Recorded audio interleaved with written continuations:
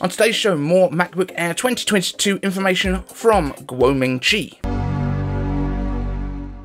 I'm Mike Cave Dave and I simplify Apple so that everything just works for you. And if you want the latest Apple news, leaks and rumours every weekday at 12 UTC, like the video, subscribe to this channel and ring my notification bell. Straight into the news today, Apple analyst Kuo Ming Chi has today released a new note to investors mentioning some new and clarified details on Apple's 2022 MacBook Air.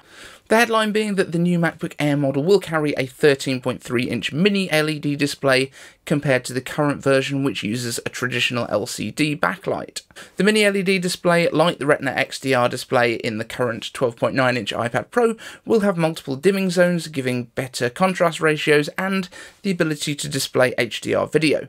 This will be releasing soon after the 14 inch and 16 inch MacBook Pros with M1X that will use the same display technology later this year. Now, while the M1X in those MacBook Pros is expected to be approximately twice as fast as the current M1 performance, thanks to twice the performance cores inside, the M2 in the MacBook Air will be more subtle increase with the same 4 performance core count as the M1, but using the faster cores from the A15 generation, giving an expected 20% performance increase while focusing on efficiency and battery life. Kuo doesn't mention a redesign here specifically, although the nature of integrating the mini LED displays does suggest that this will be required. As in the iPad Pro M1, the design was made slightly thicker to accommodate that display. It wouldn't make a great deal of sense for Apple not to take advantage of this to refresh the design overall, and it seems most likely that the new design language would be coming with this update.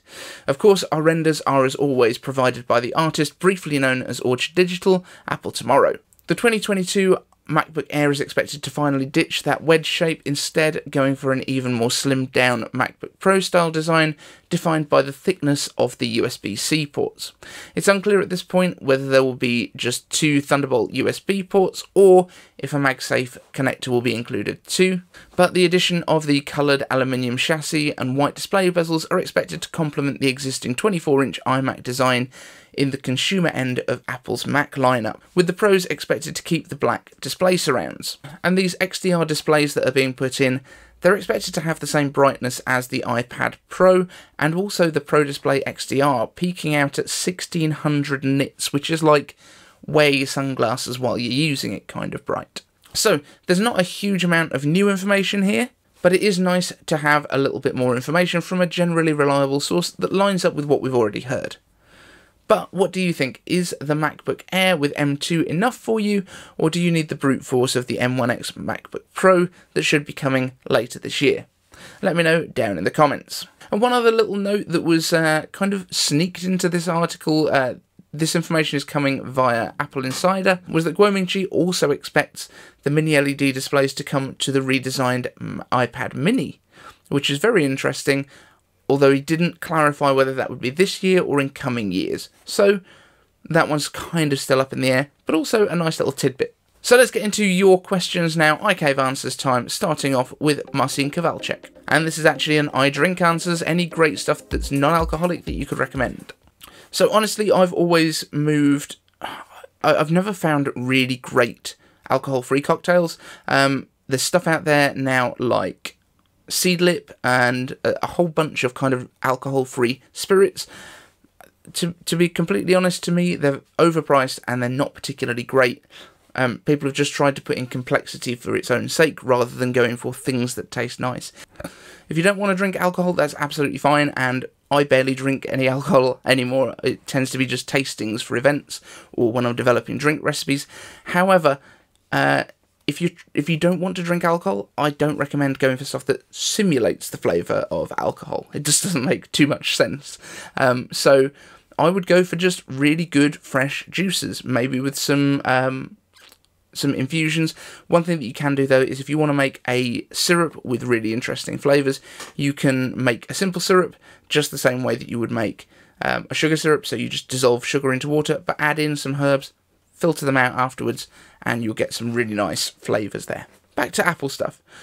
Travis Smith asks, iCave answers Apple should use the 5.8 inch screen size for the SE3. Now I'm trying to think the 5.8 inch display, I think that was the one that came with the iPhone 10, if I'm not mistaken, um, and the 10s. At that point, you're you're still using OLED, which is more expensive. So using the 6.1 inch LCD display from the iPhone 10R makes a lot more sense in terms of trying to make a budget item. Now, I think the issue is that the Face ID sensors are quite expensive, which is why there's been rumours in the past of putting Touch ID into the power button. That would be pretty cool, uh, but we will see what happens there. And also from Travis Smith, iCave answers why does Apple use the name SE for their lower priced products? So this all began with the iPhone 5 line. So there was the iPhone 5 came out, that was the first one with the slightly taller display size, um, 4 inches instead of 3.5 inches, which Apple had had purely 3.5 inch up until that point. The 4 inch display with that new design language where they'd thinned it out and uh, they had the all aluminium chassis but with glass inserts on the back. Uh, that came with the iPhone 5. Then the 5S was revolutionary because that was the first time that there was a 64 bit ARM chip in any phone. Um, and the 5SE basically took that design and put iPhone, I believe it was the 6S internals into it, which basically brought it a lot more up to date, gave it a little bit more power, and uh, that that's a phone that's still to this day can actually have the same uh, can have the current software i believe. Um, even up to ios 15 which is coming out this year uh, that can still run with it. However the name of the se meant special edition um, so it was kind of to keep that smaller form factor around for the people that really wanted to keep the small form factor. Now it's done quite well because it's still been uh, it was still for sale until the new SE arrived and there are people that just want a lower priced item. Now, the SE name goes right back to some of the early Macintoshes, um, but it wasn't a lower price thing back then. Uh, I think it's just that it worked for this 5 SE, and, uh, and so they've kept it around because people kind of got used to that name. Um, it's not really used in much outside of the iPhone, but uh, I'd, I'd like them to see that happen. Ryan Bellinger asks, iCave answers, do you think that the M1X MacBook Pro will have cellular options like the iPads? Now, I don't know if this is going to happen, but it is something that I predicted a little while ago, so I would hope they would, and the main reason that I think that Apple should do this is not specifically for the feature, but because then just like uh, some of the iPads that are sold by mobile carriers on a subscription plan, in the same way that you would subscribe to a phone, uh, they could do the same with uh, MacBooks at that point, and that would just open up MacBooks to a huge number of additional people. Now, I know that you can buy an iPad or a MacBook on finance regardless, but I think a lot of people, because they've already got a kind of monthly plan going with a cell carrier, they're used to that. They're not put off by the idea of it. It doesn't feel like finance. And so that might be something that they're going to do in future. That would be the main reason I think they would put it in there because it's very simple on most cell plans to do a personal hotspot on your phone, connect it to your iPad or your MacBook. So I personally wouldn't buy a cellular one, but I can see why a lot of people would. And Evan Rogers asks, iCave answers, excluding the AR VR market, what market segment would you most like Apple to enter? In my opinion, a 12K Apple Pro camera would be awesome. So yeah, Apple's done um, some incredible stuff in the camera market. However, there's there's quite a big gap, I think, still between what we can do with an iPhone and what we can do with a, a genuine, like, balls to the wall dedicated camera. I think Apple could do some amazing stuff if they were to apply their computational photography stuff to a real camera. Um, but in terms of what market I would like them to get into, I don't know. I think the stuff they're doing with health is really interesting. Um, I could see when they were when they were talking about the healthcare clinics that they were looking at doing in the US, where all of your data from your watch and everything else would be kind of integrated into that care. That seems like a real change. I think the AR stuff is obviously very important and it's going to be huge to them going forward with the uh, Apple Glass project and things like that.